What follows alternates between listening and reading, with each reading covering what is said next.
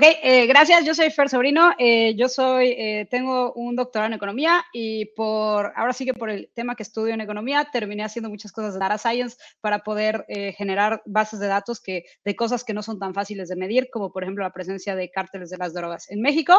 Y les voy a contar un poquito lo que yo hice en mi, en mi disertación. Y lo que yo me fijé, y la introducción de esto, es algo que pasó en 2010 aquí en Estados Unidos. ¿Qué pasó en 2010? Entre más o menos 1990 y 2010, la cantidad de prescripciones de opioides legales que hubo en Estados Unidos empezaron a subir mucho porque eh, una compañía que se llamaba Purdue Pharma, que creo que todavía existe, eh, empezó a decirse a los médicos que era muy seguro recetar opioides para el dolor. Entonces mucha gente empezó a usar opioides, gente que no tenía dolores tan graves ni tan fuertes, o sea, gente que no estaba terminal empezó a usarlos y esto se devino, o sea, terminó en un problema de un abuso y sobreuso de los opioides. Entonces, para 2010, la FDA se dio que esto es un problema y en 2010 la FDA dice que es un problema, tenemos que hacer que la gente no tenga acceso a estos opioides legales tan fácilmente. Entonces, cambian la configuración de esta pastilla de oxicodona que vendía por Dufar.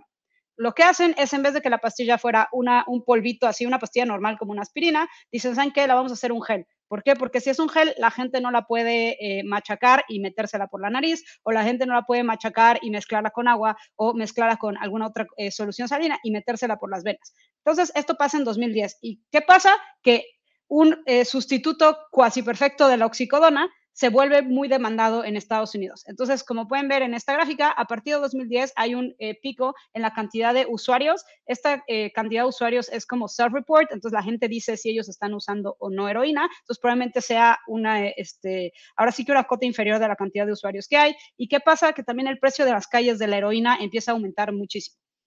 Y no solo pasa esto, sino que la cantidad de gente que se empieza a morir de sobredosis de heroína aumenta, eh, ahora sí que estrepitosamente en 2010, cosa que se había mantenido más o menos constante desde los 80. En 2010 la gente empieza a morirse más de sobredosis de heroína. Entonces, lo que yo eh, me pregunté es ¿qué está, cómo está afectando esto al mercado de la heroína en México, que es donde se está produciendo. ¿Y qué otra cosa pasa? Que pueden ver en esta gráfica es que la cantidad de heroína que la DEA incauta de origen mexicano aumenta muchísimo y pasa de, estuvo más o menos constante eh, del 20% de los 80 al 2010, pero para 2016 casi el 100% de la heroína que se incauta en Estados Unidos es de origen mexicano. ¿Cómo sabe la DEA esto? Porque hay manera, o sea, como al final de cuentas la heroína viene de una planta que es el opio, que es el opio pueden saber eh, si se produjo en Afganistán, si se produjo en Myanmar, si se produjo en Colombia o si se produjo en México. Y para 2010, eh, ya para 2016 ya casi toda la heroína es de origen mexicano. Entonces yo me pregunté, ok, hay este shock externo a la demanda, eh, por heroína, cómo reaccionaron los cárteles de la droga en México y si hay manera de usar este shock externo a la demanda para ver cuál es la relación entre la estructura de mercado y los cárteles. Y aquí por estructura de mercado me voy a referir a cuántos cárteles están operando en cada uno de los municipios en México y esto cómo afecta la violencia.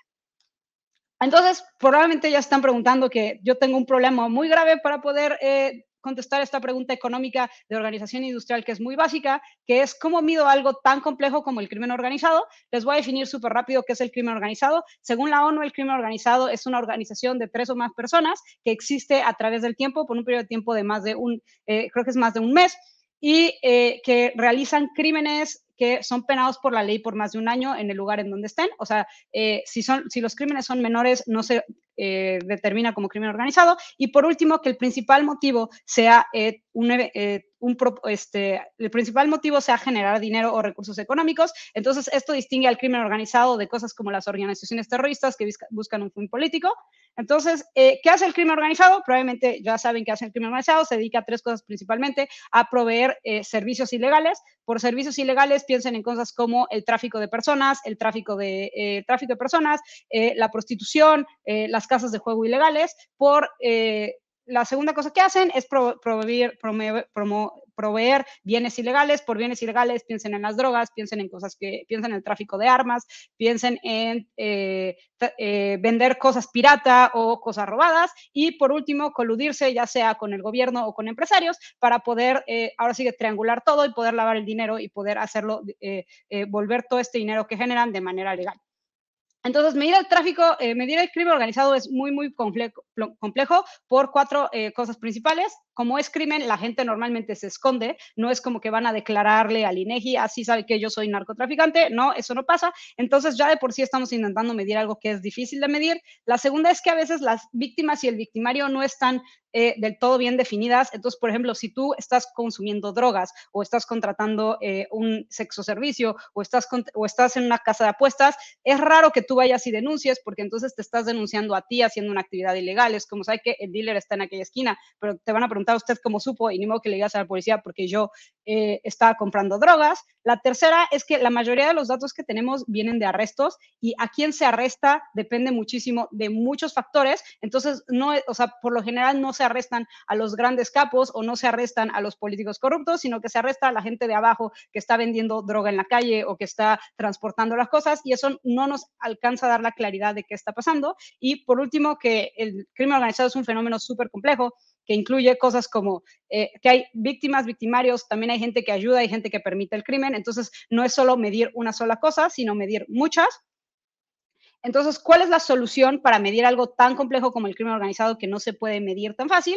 Eh, hay cuatro principales eh, maneras en que esto se puede medir. La primera es eh, con encuestas de la policía. Entonces, esto no quiere decir que vayan a entrevistar como qué está haciendo, qué, cuánto gasta la policía, sino más bien entrevistan a los policías y los policías dicen cosas como, yo creo que en este barrio está operando tal cártel o en este barrio yo he visto que hay tráfico de drogas o que en aquel barrio hay corrupción.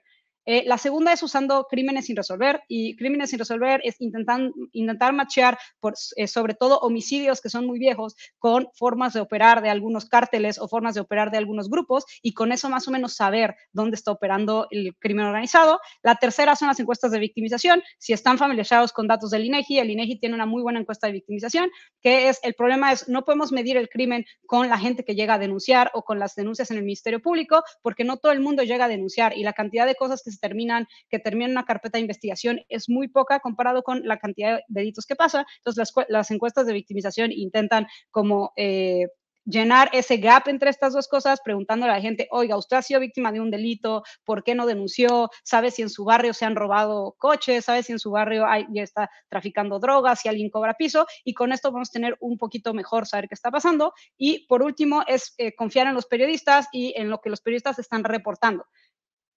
Entonces, ¿cuál es el caso de las cárteles de la droga en México?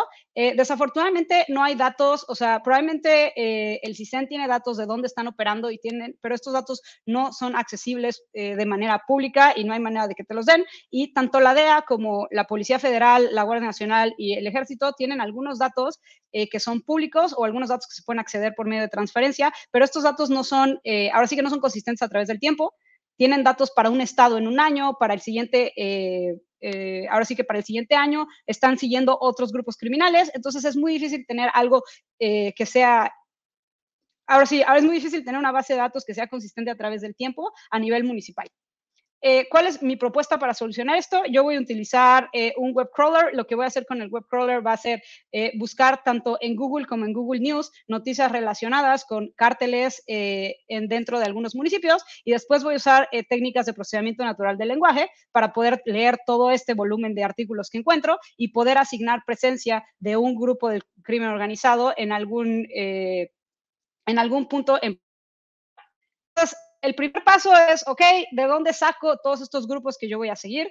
Eh, lo que hice fue un trabajo, esto es, eh, puramente manual, y se revisaron más de 300 eh, documentos, tanto del gobierno de Estados Unidos como del gobierno de México, para identificar 79 actores criminales, la mayoría de ellos eh, traficantes de droga que operaron en México entre 1990 y 2016. Y aquí pueden ver la mayoría que seguro ustedes han escuchado, que son cosas como el cártel de Jalisco Nueva Generación o el cártel de, eh, Sinaloa, pero también grupos más pequeños que, eh, que, han, que, han, operado y que tanto la DEA como el gobierno mexicano reconocen que operan, que, pero que tal vez ustedes nunca han escuchado en las noticias, como por ejemplo el cártel, el cártel de Oaxaca o el cártel de Ensenada, o hasta eh, pequeñas como escisiones de estos cárteles que empezaron como brazos armados, como por ejemplo los Zetas, que empiezan como brazo armado del el del Golfo y se separan y crean su propia eh, organización. Entonces, lo que yo hice es después tener estos 79 cárteles que se obtuvieron ahora sí de que de forma manual, viendo lo que el gobierno de México y el gobierno de Estados Unidos reconoce como cárteles de las drogas. Yo escribí eh, dos bots, uno para Google y uno para Google eh, News, que lo que hacen es ir y buscar, por ejemplo, el cártel de Sinaloa en Badiraguato y buscan por periodos de tiempo de cinco años y me regresa todos los links que encuentra. Eh, todos los links que encuentra de esto, esto se hizo para todos los municipios de México, eh, para todos los municipios del país. Eh, limpié los municipios un poquito para, eh, para que fueran, eh, para que se hagan matches, porque como saben, hay muchísimos municipios que comparten nombre a través del país. Entonces, para evitar estos problemas, se agregó el nombre del estado en algunos casos, cosas como municipio o cosas como ciudad para no confundir el lugar. Y Terminé con eh, tres, así, casi cuatro millones de búsquedas distintas. ¿Qué es una búsqueda? Es una combinación de un municipio, una forma de una forma de escribir un municipio, una forma de escribir un cártel y un periodo de tiempo. Ya que tengo esto, eh, se pueden decir, pues ya terminaste, ¿no? Ya sabes todas las noticias que hay. No, se tienen que limpiar un poquito estos, eh, estos links, sobre todo los links que vienen de Google, porque Google te regresa muchas cosas que no quieres saber. Entonces, lo que hice fue usar esta librería de Python que se llama NewsPlease y también hacer una heurística propia que lo que hace es intentar adivinar la estructura del HTML para extraer exactamente el artículo principal de la noticia y no todo lo que hay alrededor. Ahorita les, eh, les explico por qué esto podría ser un problema. Y estos dos algoritmos juntos lograron recuperar el 95% de estos 5 millones de artículos, pero al final terminé solo con 2 millones de artículos válidos. ¿Y por qué? Porque si ustedes han usado Google, seguramente sí, saben que Google a veces te, regresa cosas que parecen que son hits, pero no. Como por ejemplo, aquí yo tengo que en, eh, detiene a 11 narcos al catear tres casas en el DF. El artículo principal está hablando de que se detuvieron a, eh, a 11 narcos de la familia michoacana, creo que en Tlalpan, pero eh, Google se va con la finta de que el periódico se llama El Siglo de Torreón. Entonces me lo regresa como un hit válido para Torreón y la familia michoacana, pero el artículo principal no está hablando de eso. Y el segundo eh, ejemplo de cosas así es que a veces si ustedes entran a una página como por ejemplo de CNN o del New York Times, siempre vienen noticias relacionadas de un lado. Entonces a veces también Google se va con la finta y está, o sea, como que me mezcla, yo le digo, búscame de la familia michoacana en Badiraguato, pero me regresa que por acá están hablando algo del Chapo, entonces me regresa algo válido para Badiraguato y el cártel de Sinaloa, en vez de para lo que en serio está hablando el artículo central. Entonces, por eso fue muy importante limpiar todos estos links y extraer el artículo principal de los links. Y ahora que ya tengo esos links que sí hablan de, eh, que sí mencionan al menos un municipio y una organización criminal, me podrían decir, pues Fer, ya acabaste, ¿no? Y pues no, porque en el momento en que te eh, pones a leer esos artículos, te das cuenta que se ha vuelto tan común hablar del crimen organizado en México, que claro que tengo eh, cosas que hablan de presencia, pero también tengo muchísimas cosas que, no, que mencionan un municipio y una organización criminal, pero no necesariamente hablan de presencia. Y aquí les traje un ejemplo de cosas que sí deben de clasificarse como presencia, como, o sea, por ejemplo, este primer ejemplo del siglo de Durango, es que eh, nos dicen que en la madrugada de hoy cinco hombres fueron ejecutados por un grupo de sicarios y que los cuerpos fueron abandonados en un camellón en la colonia de Santa Cruz, Tlapoyaca, en Iztapaluca, Estado de México, junto a una narcomanta de la familia michoacana. ¿Eso quiere decir que la familia michoacana está en Iztapaluca? Probablemente sí. Después, el segundo es que el cártel de Jalisco asesinó al Gualo, que es el primo del Marro. Esto es un conflicto que ha tenido el cártel de Jalisco eh, Nueva Generación con el cártel de eh, Santa Rosa de Lima, por, eh, sobre todo en el 2020. Entonces, esto quiere decir que los dos cárteles están ahí, probablemente sí.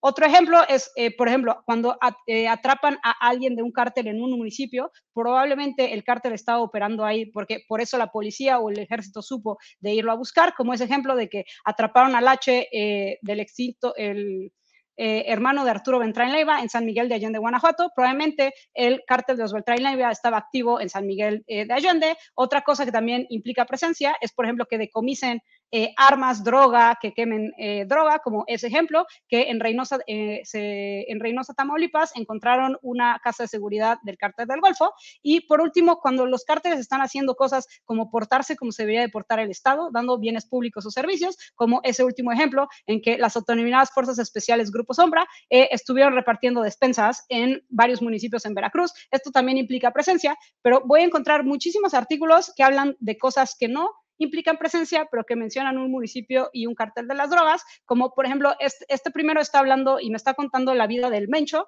Entonces, que el Mencho haya nacido en Aguililla, quiere decir que... Eh, el cártel, eh, el cártel de Santa Rosa está activo ahí o el cártel de Jalisco está activo ahí. No, no quiere decir eso. Entonces, eso yo no lo quiero clasificar como presencia. Y otra cosa que eh, eh, ahora sí que mete mucho ruido son películas y series, como por ejemplo aquí me están hablando de la tercera temporada de la serie de Narcos y por ahí me dice que el cártel de Sinaloa se formó en Guadalajara o algo así. ¿Eso quiere decir que el cártel de Sinaloa estuvo? Pues no, porque me están contando la serie. Entonces, yo necesito alguna manera de distinguir estos dos tipos de párrafos que me hablen de que los que sí hablan de presencia, de los que no hablan de presencia del cártel de drogas. Entonces, ¿cuál va a ser mi propuesta para solucionar este problema? Va a ser procesamiento natural del lenguaje, que va a ser más, eh, más o menos enseñarle a la computadora a leer. ¿Y cómo le voy a enseñar a la computadora a leer? Primero que nada, voy a eh, hacer un, como a preprocesar los datos. ¿Por qué? Porque no puedo, o sea, podría usar el artículo completo, pero es muy ineficiente usar el artículo completo, eh, tardaría muchísimo tiempo. Entonces, lo que yo hice fue cortar los artículos en párrafos, los párrafos tienen más o menos 200 caracteres y lo que hice fue poner una ventana de 50 palabras para eh, cuidar, el, para guardar el mayor contexto posible en estos párrafos. Entonces, eh, si un párrafo empieza en la, así, empieza en el carácter 0 y acaba en el 200, el que sigue empieza en el 150, no, corre los, no corté los párrafos arbitrariamente, sino que se cortan donde termina el punto. Entonces, tengo párrafos más cortos y tengo párrafos un poquito más largos de 250 caracteres.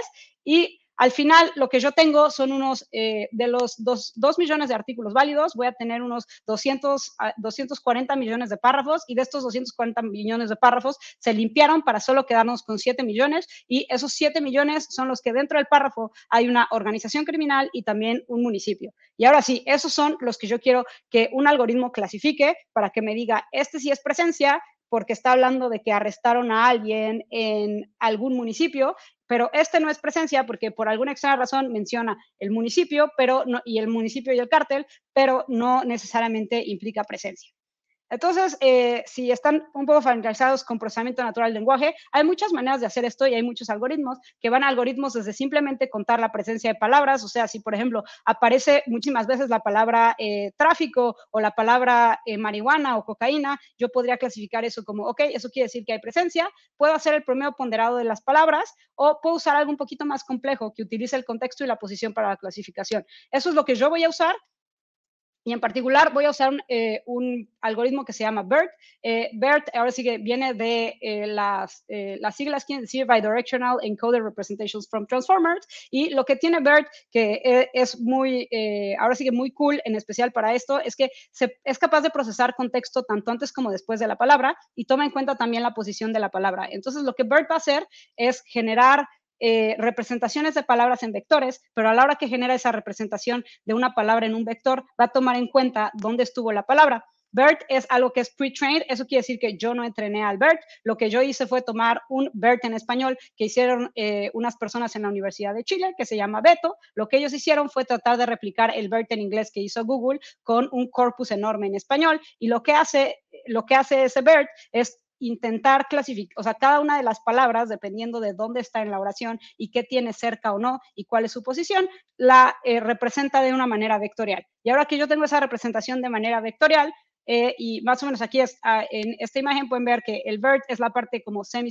eh, semi supervisada que yo no voy a entrenar para nada, yo voy a usar algo que ya está preentrenado y lo único que yo le voy a poner encima a esta representación de las palabras como vectores va a ser una clasificación y esa clasificación va a ser bien sencilla porque van a ser como los párrafos que les enseñé. Voy a clasificar un montón de párrafos, algunos van a ser un 1 que implica presencia y algunos van a ser un 0 que implica que no hay presencia. Entonces, tomé fue B y encima de este veto, o sea, prácticamente yo estoy haciendo este caso. Esto ya lo hicieron estos chicos en Chile y yo estoy usando su modelo y encima de su modelo yo le voy a poner mi parte que es, es este, ahora sí que aprendizaje eh, de máquina entrenado y yo voy a clasificar eh, a mano, se clasificaron 10.000 párrafos, eh, se balanceó la muestra y estos 10.000 párrafos no solo los clasifiqué yo, sino se clasificaron entre tres personas y eh, se usó como el que si dos personas decían que era un 1, entonces es un 1, y si dos personas decían que era un 0, entonces es un 0, y tiramos todos en los que no estábamos de acuerdo, porque al parecer al a pesar de que nosotros los leyéramos, en muchos estábamos como no tan seguros, entonces por eso tomamos esta, este método para clasificarlos y usamos estos 10.000 párrafos para entrenar este veto más la clasificación. Y lo que hicimos con los hiperparámetros que se me fueron ahí, los hiperparámetros los... Eh, tomamos eh, los hiperparámetros, los calculamos usando un grid search de varios y al final termino con un modelo que tiene eh, un batch size de 16, tiene cuatro epochs y que la learning rate es como de 1.03 e a la menos 5.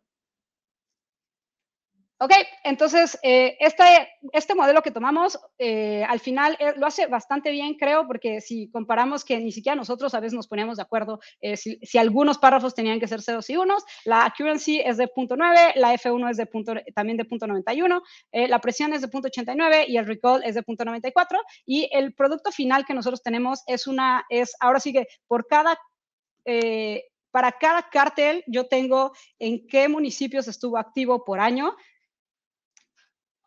y ahora se pueden estar preguntando, ok, esto solo quiere, lo que me acabas de enseñar solo quiere decir que el algoritmo lo hizo muy bien para esos eh, eh, para eso que ustedes clasificaron, pero ¿cómo se compara esto con algo de la vida real? Entonces, ¿cómo se compara esto con algo de la vida real? Usamos todas las bases de datos existentes hasta ahora para poder compararlo y existe esta base de Cochea Ríos de, 2000, de 2012. Ellos hacen algo muy parecido a lo que yo les acabo de explicar, pero lo que hacen es toman la cantidad de hits válidos, o sea, ellos buscan en Google News y en vez de después abrirlos, abrirlo, abrir los artículos y sacar la información, lo único que hacen es, ok, si hay eh, tantos hits que pasan un ciento threshold, contamos como que hubo presencia del cártel o no.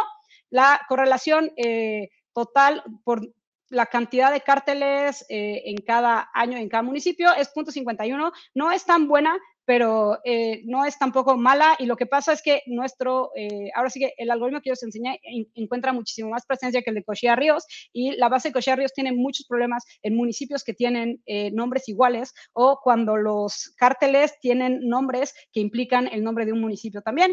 La segunda con la que comparamos esta, eh, con la que comparé estos datos es con los profesores de los datos del profesor Víctor Manuel Sánchez. Lo que hizo el profesor Víctor Manuel Sánchez fue mandar a un montón de undergrads a una hemeroteca y se pusieron a recaudar información entre 2014 y 2017 de presencia en Michoacán y en la zona conurbada del estado, eh, la zona conurbada de la Ciudad de México. O sea, ellos hicieron más o menos lo que les acabo de enseñar, pero lo hicieron a mano. Y lo que eh, cuando comparamos la correlación eh, es bastante alta, es de 0.74 por cantidad de cárteles en un municipio y cuando hago la correlación por cada cártel es bastante alta, tengo una correlación de 0.9 para, por ejemplo, la Unión Tepito en toda la Ciudad de México y eso es muy bueno porque esto quiere decir que probablemente lo que los estudiantes del profesor Víctor y el algoritmo vieron fueron artículos distintos, porque no necesariamente todo lo que está en la manoteca está en Internet, pero eso quiere decir que más o menos eh, lo está haciendo igual de bien que un humano yendo a una hemeroteca y sacando artículo por artículo y después decidiendo si un, eh, un cártel está presente o no. Y luego usé otras, otras dos bases para darle un poco de validez a esto. Una base de la DEA. La DEA tiene presencia de cárteles a nivel estatal desde 2009 hasta 2015. El problema es que la DEA define que la presencia que ellos están eh, midiendo es presencia predominante y nunca definen qué es presencia predominante, entonces eh, la correlación es, más, es alrededor de 0.6 y sí, eh, la base que yo les expliqué cómo se creó, encuentra muchísimo más presencia que la DEA, pero otra vez la DEA nunca define qué es presencia, eh, ahora sí, ¿qué quiere decir con presencia predominante? Y yo solo quería encontrar presencia, no necesariamente presencia predominante. Y por último, hay una base de datos a nivel estatal que se creó solo de fuentes, eh, ahora sí que fuentes gubernamentales, tanto de Estados Unidos como de México, y ahí la correlación es de 0.75 y la correlación por cártel también es altísima, es más o menos entre 0.4 y casi 1 eh, por cada cartel. Y esto es muy bueno porque quiere decir que lo que los periodistas nos están diciendo se parece mucho a lo que las fuentes oficiales del gobierno están diciendo, a menos a nivel estatal. Entonces, ¿cuál es el producto final? Y les voy a enseñar súper rápido nada más la evolución de eh, presencia de cárteles eh, de 2000 a 2016. La eh, animación murió a la hora que lo subí aquí, pero esto es como 2000, 2002, 2004. Entre más morado está el municipio, quiere decir que hay más cárteles, 2006, 2008, 2010, 2012, 14 y por último 2016. Entonces, ¿cuáles problemas puede tener esta base y probablemente a ustedes ya se les ocurrieron muchísimos más, es la penetración del Internet y la cantidad de medios online. Eh, yo confío en esta base más o menos a partir de 2006, porque la mayoría de las cosas que tengo pre-2006 son cosas, eh, se clasificaron porque alguien, algún periodista está hablando de algo que pasó en el pasado que se parece a algo del presente y por ahí las puede clasificar, pero yo casi no encuentro medios ni como archivos históricos de ningún medio antes de 2006. Entonces, eh, a partir de 2006 más o menos se le puede creer a esto. El segundo problema es la violencia contra periodistas en México. Saben que es un problema muy grande, entonces puede que los periodistas no estén reportando o tengan miedo de reportar. Esto tengo menos problema que sea un problema real porque hay mucha evidencia eh, anecdótica de los mismos periodistas de que hay maneras de protegerse, como por ejemplo de los artículos que encontramos, algo así como el 40% no tienen un autor, el autor es el periódico, entonces de esa manera se protegen. También muchas veces los periodistas lo que dicen es que ellos no escriben nada sin que antes la policía o el presidente municipal o alguien de, de la policía militar salga y diga algo, entonces ellos ya se protegen al decir, ¿saben qué? La policía dijo tal o los militares dijeron tal, no lo dije yo. Y eh, la otra es que los, eh, periodistas tienen esta evidencia de que, por ejemplo, si aquí está el cártel de Sinaloa y aquí está el cártel, eh, la familia michoacana, yo desde acá puedo reportar de la familia michoacana y lo contrario puede pasar acá, pero yo no puedo reportar.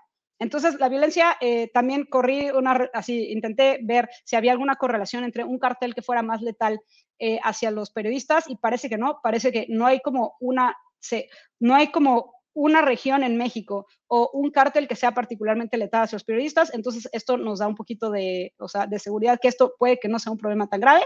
Eh, la tercera es que eh, eh, que, se estén sobre reportando eventos violentos. Eh, esto encuentro que es falso porque también le aventé encima de la clasificación que vieron, aventé una clasificación para separar eventos violentos de otra clase de eventos, como decomisos o como el cártel portándose como un ente gubernamental o cosas como arrestos, y no parece que todo, todo lo que estén reportando los periodistas sea violencia todo el rato, sí, se reporta un montón de violencia porque hay violencia, pero también se reportan muchos arrestos, se reportan muchas autoridades solo diciendo como que creemos que hay presencia, se reportan narcomantas, se reportan otros delitos como por ejemplo extorsión o que toman las carreteras o se reportan cosas como eh, le decomisaron X o Y cosa, eh, X eh, el cuarto problema que puede ser es que hay eventos de interés periodístico y para qué, a qué me refiero a esto, que esta base solo está reportando lo que los eh, periodistas ven. Entonces, si los periodistas deciden, saben que el cártel está activo, pero no hay nada relevante que reportar, entonces yo no lo voy a ver. Entonces, probablemente esta medida de presencia es una cota inferior a la presencia real que hay. Entonces, solo para que lo tomen en cuenta.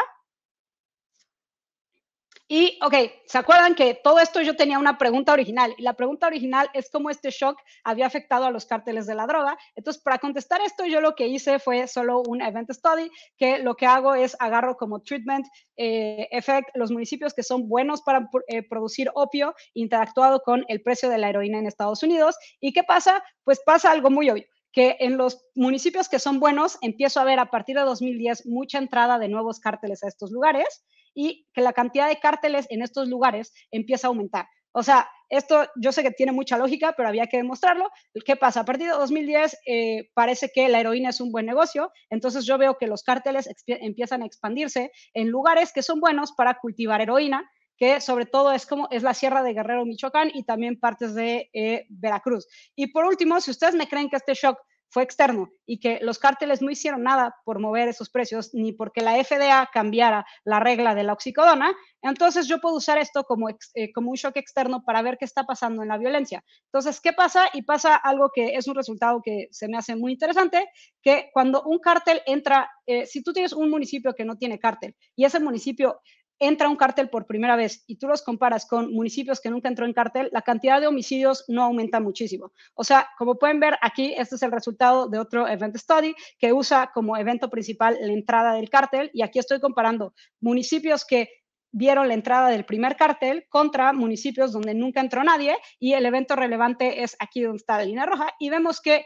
no aumenta la violencia. Entonces, eso quiere decir que mientras algo también que tiene mucho sentido y que se ha demostrado en otros eh, conceptos, en otros, eh, ahora sí que en otras cosas, como por ejemplo con las pandillas, si eh, alguien tiene el monopolio de la fuerza, no hay necesariamente más violencia. Pero ¿qué pasa cuando ese alguien pierde el monopolio de la fuerza en ese municipio? Pasa lo siguiente, esta es la cantidad de homicidios y ¿qué pasa cuando el segundo cártel entra a esa región donde ya había uno? Aumentan los homicidios y los homicidios se quedan altos por un buen periodo de tiempo y esto pasa igual tanto cuando entra el tercer como el cuarto cártel. A partir del quinto cártel, los efectos empiezan a disolver y parece que la violencia cuando hay más de cinco cárteles simplemente es alta todo el rato y no hay manera de, o sea, los homicidios están de por sí ya muy altos y esto es lo que pasa.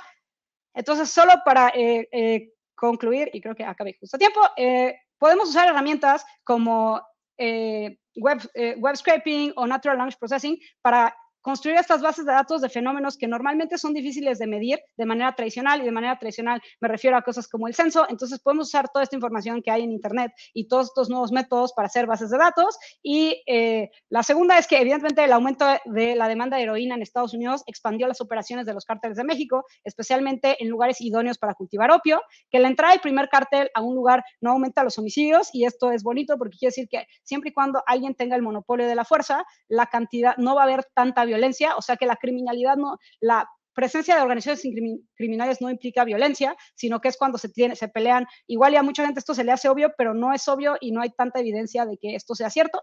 Y el número de homicidios aumenta con el número de cárteles activos después del segundo cártel y que parte de la violencia que se ha experimentado en México en los últimos 20 años se puede atribuir a los narcotraficantes peleándose por el mercado de heroína, especialmente en esos años después del 2010.